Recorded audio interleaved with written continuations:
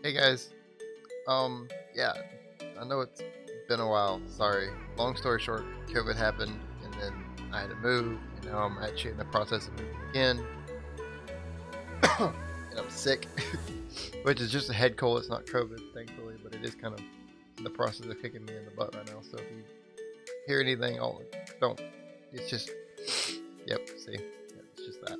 But long story short, I'm gonna show you how to bring models from Hero Forge into tabletop. Now, ta- now Hero Forge thankfully has made that a lot easier since people started realizing they could do it with STL files. But just in case people don't know,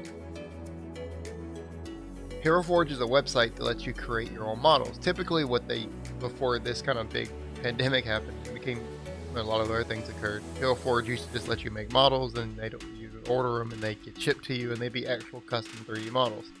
And they were beautiful models. Eventually, they started giving out STL files for a cheaper price, and then you could take those STL files, you could run them through a uh, software like GIMP, and then you could bring them down, and then you could use them on tabletop. Now they've made it even easier, where you just got to download a file. It's tabletop ready. Though I think you do have to have a subscription to them to do that. Otherwise, you only have access to the STL file choice. Either way, both are fine. I'm going to show you kind of like what both of them are, are like right now. So, if you only have the STL files, if you don't have a subscription with Hero Forge, your models are going to look something like this. Now, you can change them so they won't look so glossy. That was a um, addition on me. You just go into this, go into material, and you choose what material they're made out of. They're made out of wood. Try. And then you import. Glass is even glossier. Wow. Okay. Oh, never mind. Um, wood. There you go. No gloss. Um, but these are typically what they made. And these are all made by my players. Not the same player, of course. And then these over here, excluding this one. This one's a mistake. Literally, it's floating in the air. Um, that's actually tabletops. That's actually Hero Forge's mistake and not mine. Um, so these are what it looks like if you if you have a subscription to them and you can get the tabletop ready ones. For one, something you can easily notice, you have color finally. So you can bring color into it, and this is Happy Stubby Fingers. He's not drunk, you are. That was his inclusion, not mine, but he's not wrong. Um, and then we have here a guy who didn't get named. Oh, that's Fukoso. Why did I name you? Who else got named? Actually bothering me. Think his name was Lolliel. Um, yeah, because they called him Lolly in game. Make fun of him. Alright, anyways. Way off topic. So it's really simple. You go to Hero Forge website. It's H E R O F O R G E dot com. Hero Forge. Really simple. Go there, play with the colors, play with the models, make it all however you want. Even if you are only going to get the STL, you can still add color to your model. It just won't come up in the STL file. Um, there's ways to do it. I'm not good enough. But there are ways to add the color back using GIMP software. I don't have that capability inside of me, but some people probably do. If you know how to work, work GIMP better than I do, you probably do. Um, then there's things like this you can do, where this guy actually has two different states. And I'll show you how to do this in just a moment with, with another model.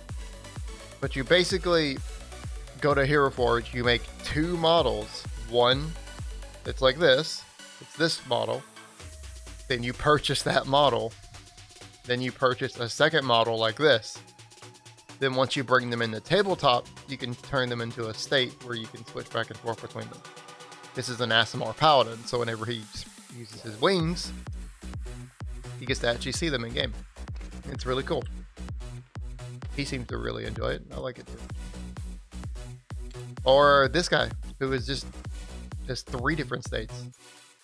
Now the reason why he's floating is um I think this is when it just kind of came out and a bug occurred. There was a bug going around, and you can get it. Re- you probably get it fixed. Honestly, I just don't. I just think we didn't care enough.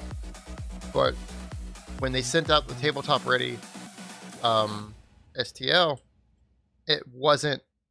It was like a bug to it or something, and it, now it just makes it float. And I can't for the life of me get it to fix. I've tried through GIMP, and I just can't figure out what exactly is making him float.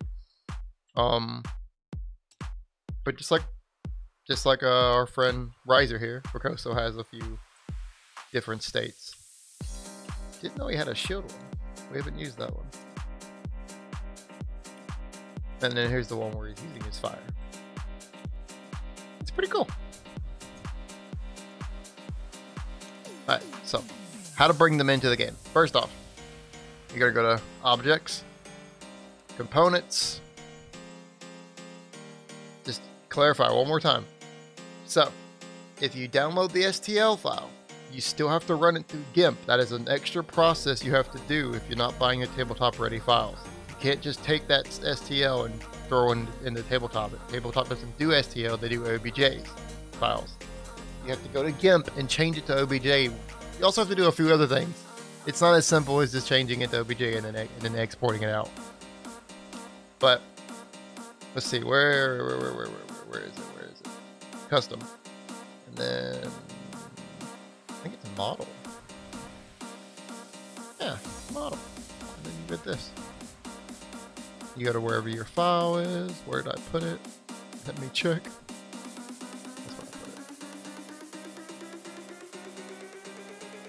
Hold on, it's being kind of annoying. This is probably the worst part about tabletop. It's having to find your way around everything.